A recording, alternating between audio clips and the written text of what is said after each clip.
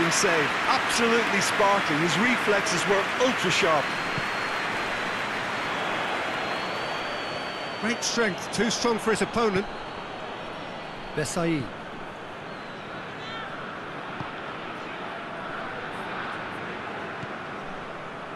Approaching half-time and still behind. Can they make something happen now?